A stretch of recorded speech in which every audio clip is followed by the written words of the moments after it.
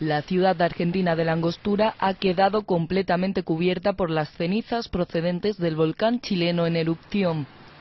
Muchos ciudadanos han salido de la ciudad, aunque otros regresan ahora ya que no se sabe hasta cuándo va a durar la situación. Los primeros días nos fuimos porque tengo una sobrina asmática y teníamos miedo que esto le hiciera mal. Pero cuando nos dimos cuenta que esto era para largo había que volver, así que volvimos con mucha, eh, mucha incertidumbre, te diría que muchos momentos de miedo, eh, otros momentos que sale el sol y te dan ganas de empezar y decir que nosotros podemos.